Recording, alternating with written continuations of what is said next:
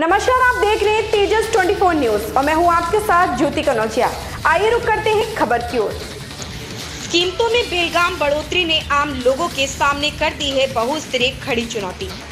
सवाल है कि जिस दौर में कम से कम रोज़मर्रा की सबसे ज़रूरी चीज़ों की कीमतों को नियंत्रण में रखने की ज़रूरत है, वैसे में आखिर वे कौन सी नीतियाँ लागू हो रही हैं जिनमें महँगाई पर लगाम लगने के बजाय इसमें और ज़्यादा इजाफा होता जा रहा है? एक और पेट्रोल का दाम कई राज्यों में सौ रुपए प्रति लीटर से पार कर चुका है तो डीजल भी इसके करीब है।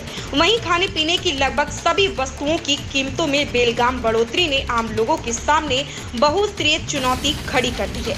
या किसी से छिपा नहीं है कि पिछले लगभग डेढ़ साल से ज़्यादातर लोग गंभीर आर्थिक मुश्किलों से जूझ रहे हैं। खासतौर पर समाज का वैसा तबका जो असंगठित क्षेत्र में रोज़गार या दिहाड़ी के भरोसे अपनी रोजी रोटी चलाता है। उसके सामने ज़िंदगी के लिए बुनियादी जरूरतें भी पूरी करना भी एक बहुत बड़ी चुनौती हो गई है।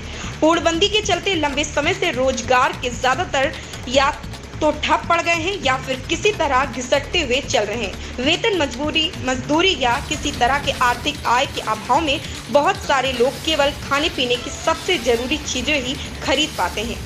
इनमें से भी बहुतों को पेट भरने के लिए भी दूसरों की मदद पर निर्भर होना पड़ा है। यहाँ तक कि मध्यम वर्ग की क्रय शक्ति भी पहले की अपेक्षा काफ़ी कमज़ोर हो गई है। ऐसी स्थिति में महँगाई की चौतरफा माल झेलना सबके लिए आसान नहीं है। ज़ाहिर है, अब यह सरकार पर निर्भर है कि वह बाज़ार में महँगाई के स्तर को कम करने के लेकर लोगों की आर्थिक स्थिति को पटरी पर लाने के लिए क्या करती है।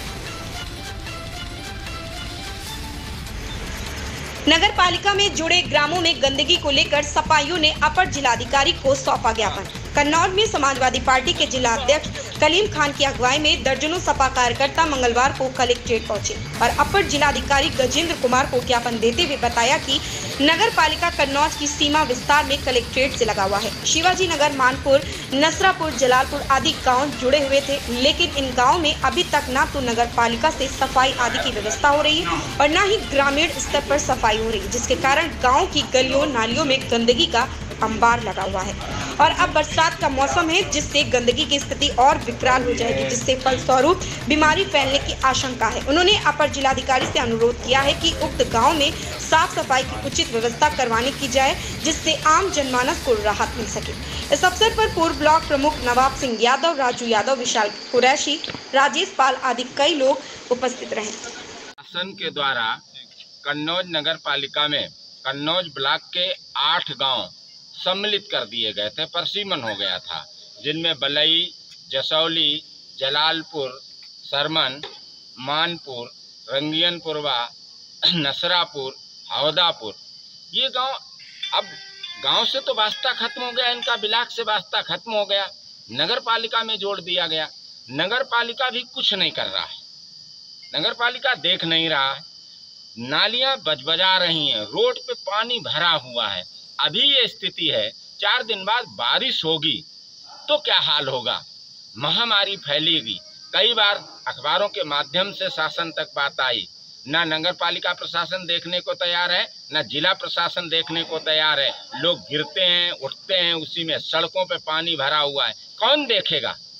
इसलिए आज हम लोग ज्ञापन देने आए हैं, अगर सफ़ाई की व्यवस्था ना हुई, उन आठों गाँवों में ध्यान न दिया गया तो अध्यक्ष जी, हमारे समाजवादी पार्टी के कलीम खां जी हैं। आज दिशा निर्देश दिया आज तो हम ज्ञापन दे रहे हैं। इनके दिशा निर्देश पे बड़ा आंदोलन खड़ा किया जाएगा। योगी संगठन के प्रभारी ने की आज़म खान की प्रशंसा। उत्तर प्रदेश के मुख्यमंत्री योगी आदित्यनाथ के संगठन के प्रभारी ने की सपा सांसद आज़म खान की तारीफ़। जी हाँ योगी संगठन के तीन मंडल के संभाग प्रभारी ने लाइट की समस्या को लेकर आज़म खान की तारीफ़ की।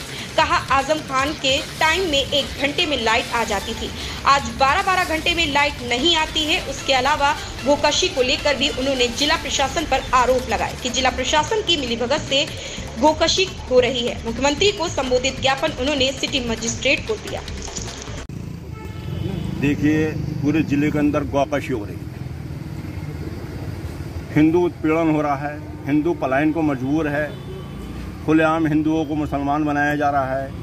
बिजली कटौती का आलम यह है, पूरे 24 घंटे में 10 घंटे बिजली नहीं ली जा रही है, फैक्ट्रियों को बिजली सप्लाई करी जा रही है। गरीब आदमी हर तरीके से परेशान है, किसी भी ऑफ़िस में जाओ, अधिकारी एक एक महीने दौड़ाता है, फिर आखिर में कहता है, भाई, ये दे दो हमें तो काम होगा। ये गरीब कहाँ जाएँ? इससे हमारे माननीय मुख्यमंत्री जी अधिकारी लोग छवि खराब कर रहे हैं। खुलेआम भ्रष्टाचार चरम सीमा पर है। आवास योजना ले लीजिए कोई सी भी योजना ले लीजिए जिसमें खुलेआम भरपूर तरीके से भ्रष्टाचार फैला हुआ है। कहीं भी किसी भी ऑफ़िस में चले जाए। गोकशी को लेकर के क्या समस्याएँ आपकी क्या ये मुद्दे ज़िले में जो गौकशी की समस्याएँ चल रही हैं ये बगैर प्रशासन की मर्ज़ी की नहीं चल सकती। मैं इतना जानता हूँ अगर एक चोर है तो वो पुलिस की नज़रों में है। पुलिस सब जानती है लेकिन फिर भी जब उस पर एक बवाल कटता है तो पुलिस एक्शन में आती है। उस बवाल कटने से पहले पुलिस एक्शन में क्यों नहीं आती? बिजली कटौती है, आज़म खां का डैम में एक घंटे में लाइट आ जाती थी, आज बारह बारह घंटे होते लोगों को लाइट नहीं मिल पाती। क्या वजह है? माननीय मुख्यमंत्री जी को बदनाम किया जा रहा है? योगी जी को बदनाम किया जा रहा है? ऐसी ही खबर से जुड़े रहने के लिए आप देखते रहें तेजस 24 न्यूज़।